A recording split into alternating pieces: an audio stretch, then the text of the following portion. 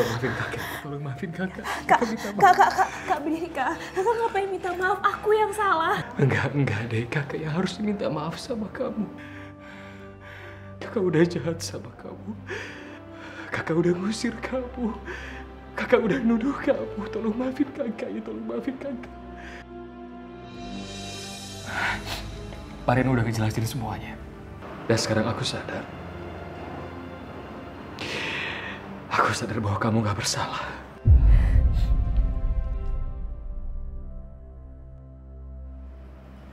Pak Firman.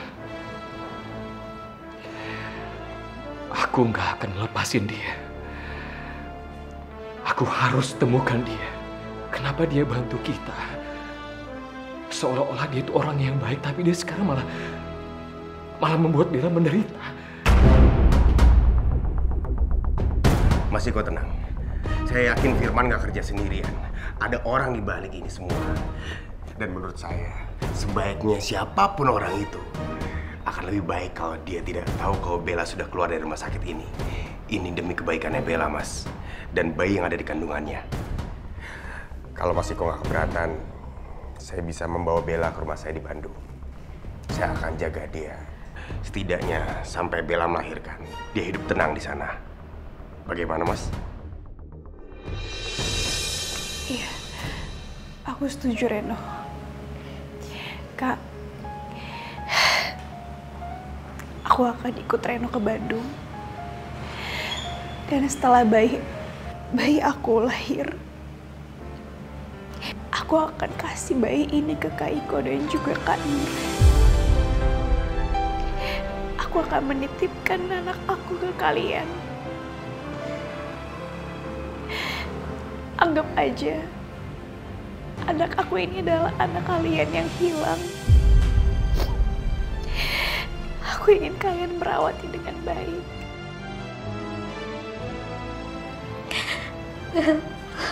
Bel, terima kasih banyak, Bel. Makasih banyak, Bel.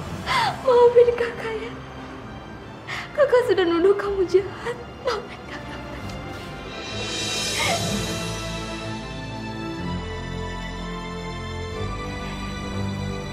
Kamu emang adik kakak yang paling baik. Padahal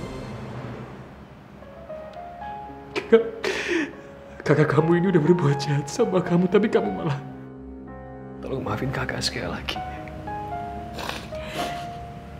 Kak, udah kak cukup minta maaf ya sama aku. Itu semua udah berlalu, Kak. Kita harus menyambut masa depan.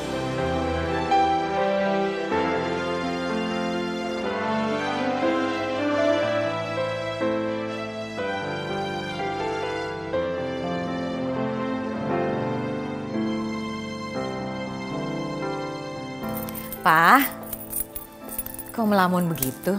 Yuk kita ke rumah sakit biar kita tahu perkembangan kesehatan Papa sekarang seperti apa. Kan saya udah bilang berkali-kali, saya nggak mau, saya nggak mau. Papa jangan begitu dong, ini kan schedule check up. Ayo dong Pak. Walaupun papa merasa sehat, nggak ada salahnya kan kalau papa melakukan check up. Kalau mau sehat ya sehat aja. Biar Tuhan yang ngatur, bukan dokter. Papa pengen ketemu kan sama Bella? Apa maksud kamu? Ya, kalau Papa beneran mau ketemu sama Bella, ya Papa harus sehat dong, harus fit. Kantor Bella pasti senang kalau ngeliat Papa sehat, ya kan, Ma? Hmm? Iya Pak. Kamu benar juga. Aku harus sehat kalau nanti bertemu dengan Bella. Ya udah, ayo ke rumah sakit. Maaf Tuan, HP-nya ketinggalan. Ngapain saya bawa handphone? Siapa juga ya akan nelpon saya? Keluarga yang saya sayangi udah nggak tahu ada di mana. Taruh aja di meja. Ayo.